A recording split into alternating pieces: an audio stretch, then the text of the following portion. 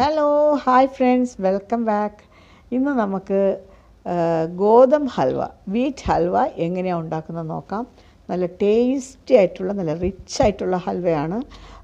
വെറും മൂന്നേ മൂന്ന് ഇൻഗ്രീഡിയൻസ് ഗോതമ്പും പഞ്ചസാരയും നെയ്യും.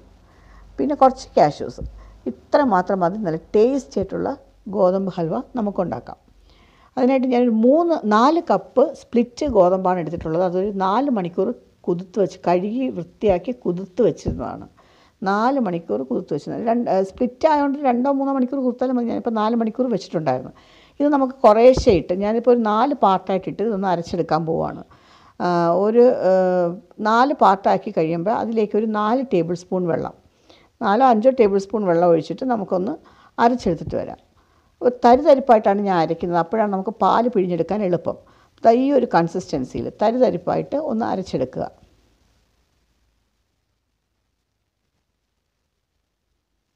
കണ്ടത്. ഇപ്പോൾ ഒരു തരിതരിപ്പായിട്ടാണ് ഇത് ഇരിക്കുന്നത്. ഈ ഒരു കൺസിസ്റ്റൻസിയിൽ നമുക്ക് അരച്ചെടുത്തിട്ട് വരാം. ബാക്കിയെല്ലാം നമുക്ക് ഇതുപോലെ അരച്ചെടുത്തിട്ട് വരാം. ഇപ്പം ഞാൻ മൊത്തം ഗോ ഗോതമ്പും അരച്ചെടുത്തിട്ട് വന്നിട്ടുണ്ട്. ഇനി നമുക്ക് ഇതിനകത്ത് പാൽ പിഴിഞ്ഞെടുക്കണം. നന്നായിട്ട് പിഴിഞ്ഞെടുക്കണം. അഥവാ നിങ്ങൾക്ക് പ്രയാസം തോന്നിയാൽ കുറച്ചുകൂടെ വെള്ളം ചേർത്തിട്ട് വേണമെങ്കിൽ പിഴിഞ്ഞെടുത്തോളൂ. കാരണം ഇച്ചിരി പാടാണ് ഇത് പിഴിഞ്ഞെടുക്കാൻ. ഇച്ചിരി സമയമെടുക്കും. വെള്ളം ചേർത്തിട്ട് പിഴിഞ്ഞെടുക്കും. കാരണം നമ്മളിത് വെള്ളം തെളിച്ചെടുക്കും പിന്നീട്. ആദ്യം നമുക്ക് നന്നായിട്ട് ഇതൊന്ന് ഞെക്കി പിഴിഞ്ഞ് അതിന്റെ കൊത്തെല്ലാം ഒന്ന് മാറ്റിയെടുക്കാം.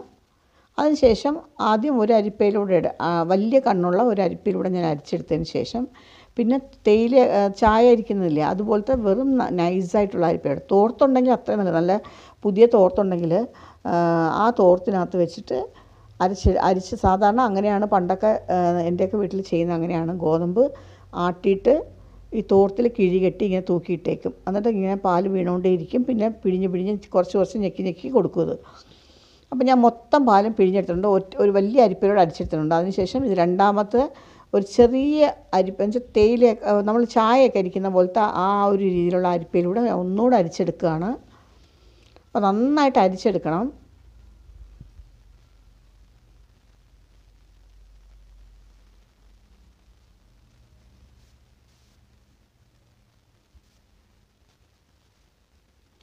ഇപ്പം ഞാൻ ആ പാലെല്ലാം ഒന്ന് അരിച്ചെടുത്തിട്ടുണ്ട്. ഇനി നമുക്കിതൊരു ഒരു മണിക്കൂറോ ഒന്നര മണിക്കൂറോ നമുക്കൊന്ന് റെസ്റ്റ് ചെയ്യാനായിട്ട്. റെസ്റ്റ് ചെയ്യാൻ മീൻസ് ഇതൊന്ന് വെള്ളം തെളിഞ്ഞ് കിട്ടാൻ വേണ്ടിയിട്ട്. അപ്പോൾ വെള്ളമെല്ലാം മുകളിലോട്ട് തെളിഞ്ഞ് പാലൊക്കെ നല്ലതായിട്ട് അടിയിലോട്ട് ഉറഞ്ഞു വരും. അപ്പോൾ എന്നിട്ട് ആ പാ വെള്ളം നമുക്ക് തെളിച്ച് കളയണം. അതിന് വേണ്ടിയിട്ട് നമുക്കൊരു ഒന്നോ ഒന്നര മണിക്കൂറോ വെച്ചേക്കാം. അപ്പോൾ ഇതിവിടെ ഇരിക്കട്ടെ. ഒരടപ്പുണ്ട്. ഞാനിതൊന്ന് മൂടി വെക്കുകയാണ്. ഇനി ഒരു ഒരു ഒന്ന് ഒരു മണിക്കൂറോ ഒരു ഒന്നര ഒരു മണിക്കൂർ മിനിമം ഇരിക്കണം. ഒന്നര ഒന്നൊന്നര ഇപ്പോൾ ഒരു ഒന്നര മണിക്കൂർ കഴിഞ്ഞിട്ടുണ്ട്. നമ്മുടെ വെള്ളമൊക്കെ നന്നായിട്ട് തെളിഞ്ഞ് വന്നിട്ടുണ്ട്. പാലൊക്കെ നന്നായിട്ട് അടിച്ച് അടിക്ക് അടിഞ്ഞ് വന്നിട്ടുണ്ട്. അപ്പോൾ ഇനി ഈ വെള്ളം നമുക്ക് തെളിച്ചങ്ങ് മാറ്റാം. ഈ വെള്ളത്തിനൊരു പുളിപ്പ് നമ്മൾ ഇതിനകത്ത് വെള്ളം ആഡ് ചെയ്യും പക്ഷേ ഈ വെള്ളം ഊറ്റിക്കളയണം. കാരണം ഇതിനല്ലെങ്കിൽ പുളിപ്പ് വരും. അപ്പോൾ വെള്ളം ഞാൻ നന്നായിട്ട് ഊറ്റി മാറ്റിയിട്ടുണ്ട്. നല്ല കട്ടിപ്പാലാണ് നല്ല കുറുകിയ നല്ല കട്ടിപ്പാലാണ് നമുക്ക് കിട്ടിയിട്ടുള്ളത്. അടിയിൽ നല്ലതായിട്ടൊന്ന് ഇളക്കി നന്നായിട്ടൊന്ന് ഇളക്കിയതിന് ശേഷം ഞാനൊരു ത്രീ ഹൺഡ്രഡ് എം എല്ലിന്റെ ഒരു ഗ്ലാസ്സാണ് എടുത്തിട്ടുള്ളത്. ആ ഗ്ലാസ്സിലേക്ക് ഈ പാൽ നമുക്കൊന്ന് അളന്നെടുക്കാം.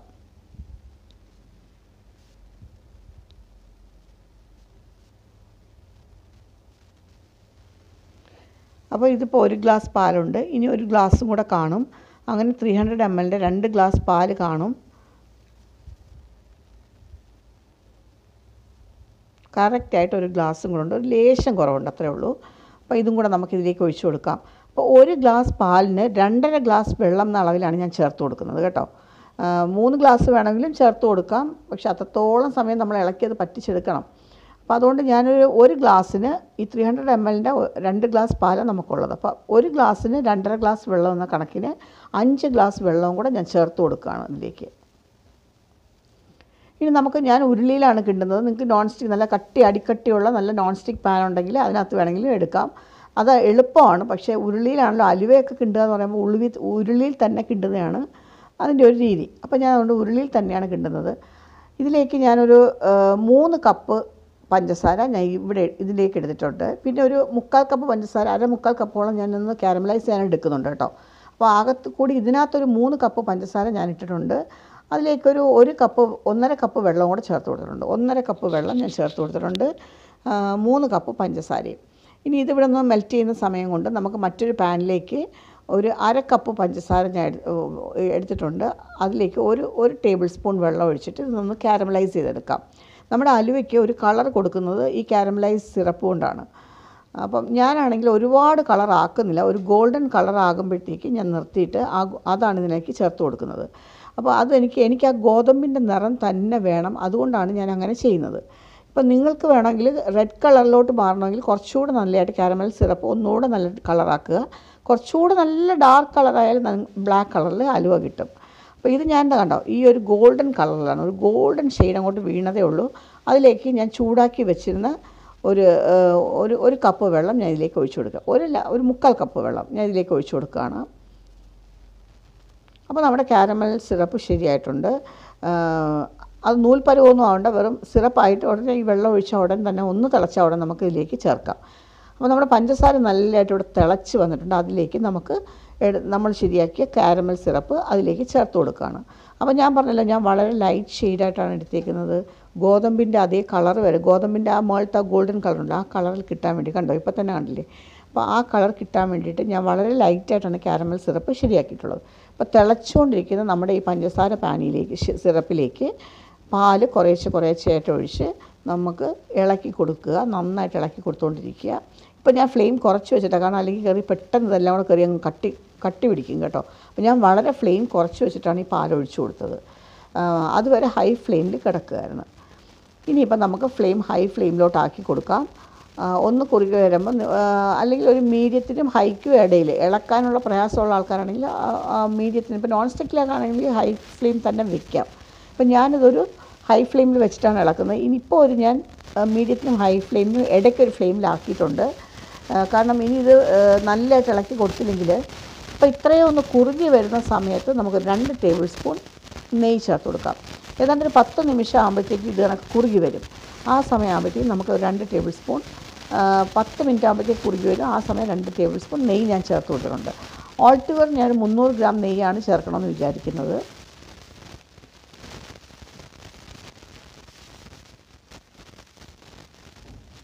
നെയ്യ് മാത്രമാണ് ഞാൻ ചേർക്കുന്നത്. എണ്ണ ഒന്നും ഞാൻ വേറെ എണ്ണ ഒന്നും തന്നെ ചേർക്കുന്നില്ല. നെയ്യ് മാത്രം ചേർത്തിട്ടാണ് ഇത് ഉണ്ടാക്കുന്നത്. അതാണ് ഞാൻ പറഞ്ഞത്. നല്ല റിച്ചായിട്ടുള്ള ഒരു ബീച്ച് ഹൽവയാണ്. ഭയങ്കര ടേസ്റ്റിയാണ് നല്ല ചൂയി ചൂയി നല്ല ചൂയിയാണത് കേട്ടോ ആ ഒരു ഈ ഒരു ഹൽവ. നന്നായിട്ട് കൈയെടുക്കാതെ ഇളക്കി കൊടുത്തുകൊണ്ടിരിക്കണം അതാണ് ഏകദേശം രണ്ട് മണിക്കൂറെങ്കിലും വേണ്ടി വരുമെന്നാണ് ഞാൻ പ്രതീക്ഷിക്കുന്നത്. നമുക്ക് നോക്കാം. കുറേ സമയമെടുക്കും. ഈ ഒരു ഇളക്കുന്ന സമയമാണുള്ളത്. അല്ലാതെ ബാക്കി കാര്യങ്ങൾ പ്രോസസ്സൊക്കെ വളരെ സിമ്പിളാണ് ഇൻഗ്രീഡിയൻസും വളരെ സിമ്പിളായിട്ടുള്ള ഇൻഗ്രീഡിയൻസ് ആണ്. അപ്പോൾ പക്ഷേ ഈ ഒരു ഇളക്കുന്ന സമയം ആ പ്രോസസ്സിന്റെ ഒരു സമയമുണ്ടല്ലോ അലുവയാവുന്ന അതാണ് എടുക്കുന്നത് സമയം എടുക്കുന്നത് അപ്പോൾ രണ്ട് മണിക്കൂറെങ്കിലും വേണ്ടി വരുമെന്നാണ് ഞാൻ പ്രതീക്ഷിക്കുന്നത്. നമുക്ക് നോക്കാം. നന്നായിട്ട് ഇളക്കി കൊടുക്കാം. വീണ്ടും ഞാൻ രണ്ട് ടേബിൾ സ്പൂൺ നെയ്യ് ചേർത്ത് കൊടുത്തിട്ടുണ്ട്. ഇടയ്ക്ക് ആ ഒട്ടുന്ന ഒരു പരുവാകുമ്പോൾ വീണ്ടും ചേർത്ത് കൊടുക്കുക. അങ്ങനെ ഇടയ്ക്കിടയ്ക്ക് ചേർത്ത് കൊടുത്തുകൊണ്ടേ ഇരിക്കുക. ഏറ്റവും ഒടുവിൽ നമുക്ക് ഈ നെയ്യെല്ലാം തിരിച്ച് ഇതിനകത്തുനിന്ന് ഊറി ഇറങ്ങി വരും. അപ്പോഴത്തേക്ക് ഇത് മൂക്കാൻ തുടങ്ങിയെന്നാണ് അർത്ഥം. അങ്ങനെ ഇറങ്ങി വന്നതിന് ശേഷം വീണ്ടും ഒരു പത്തിരുപത്തഞ്ച് മിനിറ്റെങ്കിലും നന്നായിട്ട് ഇളക്കി കൊടുക്കണം. പത്തിരുപത് മിനിറ്റെങ്കിലും ഇളക്കി കൊടുക്കണം. അപ്പോഴാണ് നല്ല എന്താ പറയുക നല്ല ചൂയായിട്ടുള്ള പിന്നെ അലുവ നമുക്ക് കിട്ടുന്നത്. വീണ്ടും ഞാൻ നെയ്യ് ചേർത്ത് കൊടുത്തിട്ടുണ്ട്. ഒട്ട് വീണ്ടും ഈ നെയ്യ് വീണ്ടും ഒഴിക്കുന്നുണ്ടെങ്കിൽ നല്ലൊരു സ്മൂത്ത് ആവും നമുക്ക് ഇളക്കാനൊക്കെ. അത് കഴിയുമ്പോൾ വീണ്ടും ഇത് ഒട്ടുന്നൊരു പരുവാകും അപ്പോൾ വീണ്ടും ഒഴിച്ചു കൊടുക്കുക.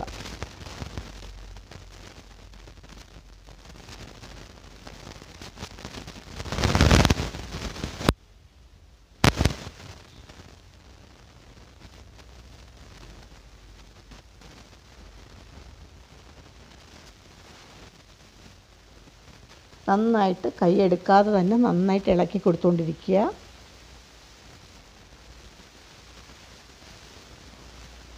നമ്മളെപ്പോഴും ഫ്ലെയിമും കൈ ഇളക്കുന്ന ഇളക്കുന്നതും എല്ലാം വളരെ ശ്രദ്ധയായിട്ട് വേണം ചെയ്യാൻ. വേറെ കാര്യത്തിനൊക്കെ പോയി കഴിഞ്ഞാൽ ഇതിനകത്ത് കയറി കല്ല് കട്ടയാവും. പിന്നെ അവസാനം അലുവ മൂത്ത് വരുമ്പോൾ അതൊക്കെ കല്ലിച്ച് കല്ലിച്ച് കിടക്കും. ഒരേ ടെക്സ്ചറിൽ നന്നായിട്ട് കിട്ടണമെങ്കിൽ കൈ എടുക്കാതെ ഇളക്കിക്കൊണ്ടേയിരിക്കണം.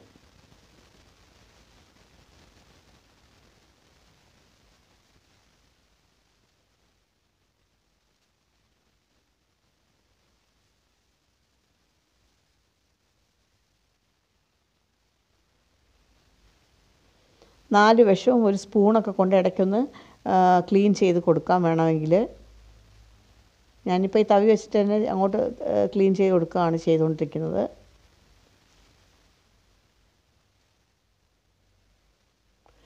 വീണ്ടും തണ്ട ഇപ്പോൾ ഒന്ന് ഒട്ടുന്ന പരിപാടിയുണ്ട്. വീണ്ടും നമുക്ക് കുറച്ച് നെയ്യ് ഒഴിച്ചു കൊടുക്കാം. അങ്ങനെ ഇതുപോലെ ഒട്ടുന്ന പരുവാകുമ്പോൾ നമ്മൾ നെയ്യ് ഒഴിച്ചുകൊണ്ടേ ഇരിക്കുക.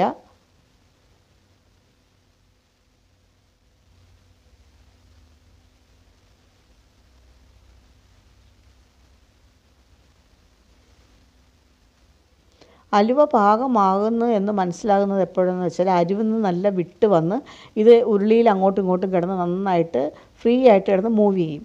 അപ്പോഴാണ് അലുവ മൂത്ത് തുടങ്ങിയെന്ന് നമുക്ക് മനസ്സിലാവുന്നത്.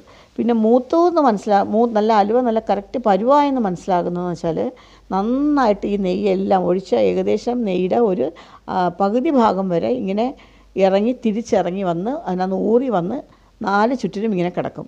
അപ്പോഴാണ് അലുവ നല്ല പാകമായെന്ന് നമുക്ക് മനസ്സിലാവുന്നത്. അങ്ങനെ വന്നതിന് ശേഷം ഒരു എട്ട് മിനിറ്റ് നന്നായിട്ട് ഇളക്കി കൊടുത്താൽ നമ്മുടെ അപ്പോൾ ആ സമയത്ത് വേണമെങ്കിലും എടുക്കാം. അപ്പോൾ ആ ഒരു അലുവയുടെ ആ ചവയ്ക്കുമ്പോൾ ആ ഒരു ചൂയി ആ ഒരു എഫക്റ്റ് എന്ന് പറഞ്ഞാൽ വളരെ കുറവായിരിക്കും. പക്ഷെ നല്ല കുറച്ച് നേരം ചവച്ച് ചവച്ച് അങ്ങനെ ചൂയിയായിട്ട് നമ്മൾ കോഴിക്കോടൻ ഹൽവ എന്നൊക്കെ പറയില്ല അതുപോലത്തെ ഒരു ടെക്സ്ചർ ആവണമെങ്കിൽ ഇങ്ങനെ എണ്ണ വന്നതിന് ശേഷം നമ്മൾ ഒരു എട്ട് പത്ത് പത്ത് മിനിറ്റെങ്കിലും പിന്നെ നന്നായിട്ട് ഇളക്കി കൊടുത്തിട്ടുണ്ട് അപ്പോൾ കൈയെടുക്കാതെ ഇളക്കി കൊടുത്തുകൊണ്ടിരിക്കണം.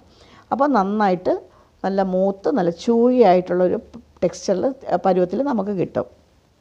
കണ്ടോ? വീണ്ടും അത് ഒട്ടിപ്പിടിക്കുന്നുണ്ട് കണ്ടോ?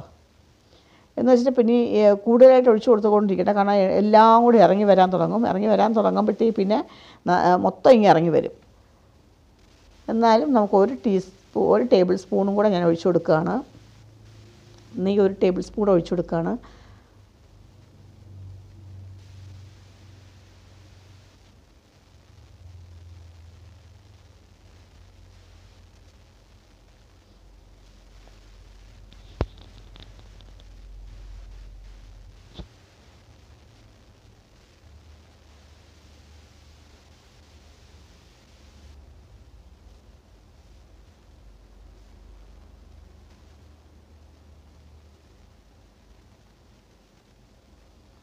ഇപ്പോൾ കണ്ടോ നന്നായിട്ട് കിടന്ന് ഓടുന്നുണ്ട് നമ്മുടെ ആ അലുവ നന്നായിട്ട് ഉള്ളിൽ കിടന്ന് നല്ല ഫ്ലുവന്റ് ആയിട്ട് കിടന്ന് ഇങ്ങനെ ഓടുന്നുണ്ട്.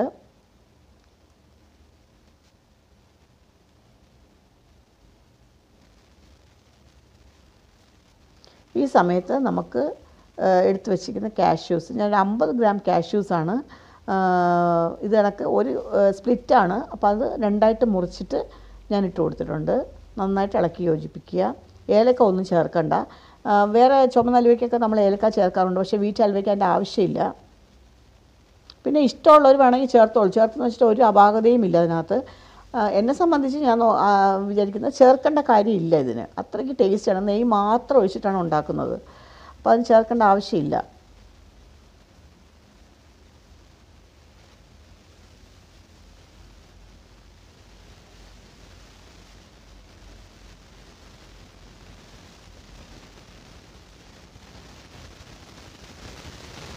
അപ്പോൾ നമ്മുടെ നെയ്യൊക്കെ ഇറങ്ങാൻ തുടങ്ങിയിട്ടുണ്ട്. ചെറുതായിട്ട്.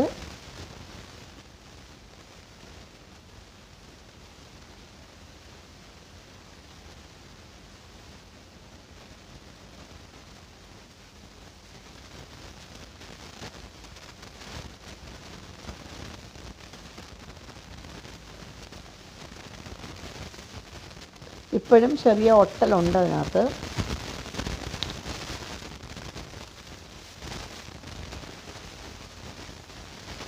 എന്ന് കരുതി എണ്ണ നെയ്യ് ഒഴിച്ചു കൊടുക്കേണ്ട ആവശ്യമില്ല. ഇപ്പം ഇപ്പം തിരിച്ചിറങ്ങാൻ തുടങ്ങും അത് നന്നായിട്ട്. കണ്ടോ? ഇപ്പം തന്നെ നെയ്യ് ഇതായി ഇറങ്ങി തുടങ്ങിയിട്ടുണ്ട്. അപ്പോൾ വേണമെങ്കിൽ ഒരു രണ്ട് മൂന്ന് മിനിറ്റും കൂടെ കഴിയുമ്പോൾ നമുക്കിത് ട്രെയിലോട്ട് മാറ്റാം. പക്ഷേ നല്ല ഒരു മൂത്ത് നല്ല ഒരു ചൂയി ആയിട്ടുള്ള എന്ന് വെച്ചാൽ കോഴിക്കോട് ഹൽവ എന്നൊക്കെ പറഞ്ഞില്ല ആ ഒരു ടെക്സ്ചറിലേക്ക് മാറണമെങ്കിൽ ഈ എണ്ണ ഇറങ്ങാൻ തുടങ്ങിയതിന് ശേഷം ഒരു പത്ത് പതിനഞ്ച് മിനിറ്റോളം നമ്മൾ നന്നായിട്ട് ഇളക്കി കൊടുക്കുക. കണ്ടോ? ഇപ്പോൾ എണ്ണ നന്നായിട്ട് ഇറങ്ങി നാല് ചുറ്റിനും വന്നിട്ടുണ്ട്. ഞാൻ അതിന് ശേഷം എട്ട് പത്ത് പത്ത് പന്ത്രണ്ട് മിനിറ്റ് ആയിട്ടുണ്ട് ഇപ്പോൾ ഇളക്കി കൊടുത്തുകൊണ്ടേ ഇരിക്കുകയായിരുന്നു. അപ്പം നമുക്ക് സ്റ്റൗ ഓഫാക്കി കൊടുക്കാം. എണ്ണ നല്ലതായിട്ട് ഇറങ്ങിയിട്ടുണ്ട്. കണ്ടോ? ഇനി നമുക്ക് ഈ ചൂടോടുകൂടി തന്നെ ഏതെങ്കിലും ഒരു ട്രേയിലേക്ക് എണ്ണ ഒന്നും തടവണമെന്നില്ല. കാരണം അതിനകത്ത് എണ്ണ കിടക്കുകയാണ്. അപ്പോൾ എന്റെ ഒരു ഇതുമാതിരത്തെ ഒരു ട്രേ ഉണ്ട്. നോൺ സ്റ്റിക്കി ആയിട്ടുള്ള. അപ്പോൾ അതിനകത്തേക്ക് നമുക്ക് ഇത് പറഞ്ഞു കണ്ടോ? ഞാൻ പറഞ്ഞില്ലേ ഗോതമ്പിന്റെ കളറ് വേണം. അതിന് വേണ്ടിയിട്ടാണ് ഞാൻ അങ്ങനെ ഒരു ടെക്സ്ചറിൽ കാരമൽ സിറപ്പ് ഒഴിച്ചു കൊടുത്തത്. ഇപ്പോൾ കണ്ടോ ആ ഗോതമ്പിന്റെ അതേ നിറത്തിൽ തണ തന്നെയാണ് നമുക്ക് അലുവ കിട്ടിയിട്ടുള്ളത്. നല്ല ടേസ്റ്റി ആയിട്ടുള്ള അലുവയാണ്. എല്ലാവരും ട്രൈ ചെയ്ത് നോക്കണം കേട്ടോ. കുറച്ച് ഇളക്കുന്ന ഒരു ജോലിയാണ്. അതുകൊണ്ട് എല്ലാവർക്കും മടിയാണ് അലുവ ഉണ്ടാക്കാൻ. പക്ഷേ നമ്മൾ വീട്ടിലുണ്ടാക്കിയെടുത്ത് അത്രയ്ക്ക് ടേസ്റ്റായിട്ട് നമുക്ക് കഴിക്കാം. നല്ല പ്യുവറാണ് അനാവശ്യമായ എണ്ണകളൊന്നും ഇല്ല. എന്ന് നമുക്ക് ഇതിനകത്ത് ഒരെണ്ണയും ഞാൻ ചേർത്തിട്ടില്ല. നെയ്യ് മാത്രമാണ്. ഞാൻ മുന്നൂറ്റമ്പത് ഗ്രാമോളം നെയ്യ് ഞാൻ ചേർത്തിട്ടുണ്ട്.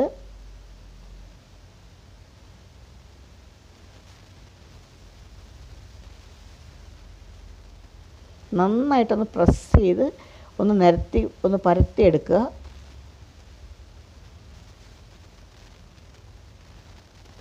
അപ്പോൾ ഞാൻ നന്നായിട്ട് പ്രസ് ചെയ്ത് നല്ലതുപോലെ പരത്തി വെച്ചിട്ടുണ്ട്. പക്ഷേ ഇപ്പം നമുക്ക് കട്ട് ചെയ്യാൻ പറ്റില്ല. നല്ല സെറ്റാവണം. ഇതിപ്പോൾ ഞാൻ വൈകിട്ടാണ് ഞാൻ സന്ധ്യയ്ക്കാണ് ഞാൻ ചെയ്യാൻ തുടങ്ങിയത് കേട്ടോ. ഇപ്പോൾ മണി ഏതാണ്ട് പത്ത് മണിയായിട്ടുണ്ട്. അപ്പം ഇന്ന് ഞാനിപ്പോൾ ഇനി എന്തായാലും കട്ട് ചെയ്യുന്നില്ല. ഇതേപോലെ തന്നെ അങ്ങ് വെക്കുകയാണ്. നാളെ രാവിലെ ഞാൻ കട്ട് ചെയ്ത് കാണിക്കാം. ഒന്ന് സെറ്റായതിന് ശേഷം നമുക്കിത് കട്ട് ചെയ്ത് കാണിക്കാം കേട്ടോ. അല്ലാതെ ഇപ്പോൾ കട്ട് ചെയ്താൽ അത് ശരിയാവത്തില്ല.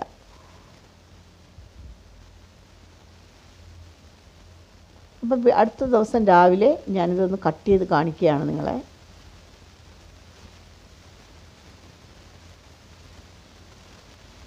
അടുത്ത ദിവസം രാവിലെയാണ് ഞാനിത് കട്ട് ചെയ്യുന്നത്. നമ്മുടെ അലുവയൊക്കെ നല്ല സെറ്റായി വന്നിട്ടുണ്ട്.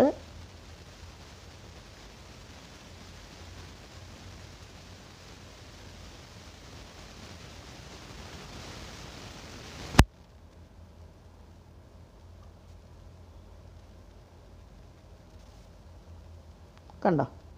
ഞാൻ പറഞ്ഞില്ലേ നല്ല ഗോതമ്പിന്റെ നിറത്തിൽ തന്നെയാണ് കിട്ടിയിരിക്കുന്നത്. അപ്പോൾ നല്ല ടേസ്റ്റി ആയിട്ടുള്ളൊരു ഹൽവയാണ്. നല്ല കറക്റ്റ് പരുവത്തിന് തന്നെ മൂത്ത് വന്നിട്ടുണ്ട്.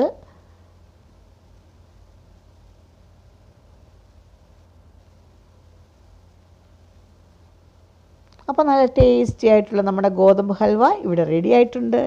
എല്ലാവരും ട്രൈ ചെയ്ത് നോക്കുക. എല്ലാവർക്കും ഇഷ്ടമാവുമെന്ന് ഞാൻ വിചാരിക്കുന്നു. ഇഷ്ടപ്പെട്ടിട്ടുണ്ടെങ്കിൽ ലൈക്ക് ചെയ്യാനും ഷെയർ ചെയ്യാനും മറക്കരുത്. ഇതുവരെ സബ്സ്ക്രൈബ് ചെയ്യാത്തവരുണ്ടെങ്കിൽ പ്ലീസ് ഒന്ന് സബ്സ്ക്രൈബ് ചെയ്തേക്കൂ. അപ്പം ഇതുവരെ എന്നെ സപ്പോർട്ട് ചെയ്ത എല്ലാവർക്കും ഒരു ബിഗ് താങ്ക്സ് ഇനിയും തുടർന്നും എന്നെ സപ്പോർട്ട് ചെയ്യുക. ഇനിയും നല്ല നല്ല വീഡിയോസും നല്ല നല്ല റെസിപ്പീസുമായിട്ട് ഞാൻ അടുത്ത എപ്പിസോഡിൽ വരുന്നത് വരെ. Till then take care and bye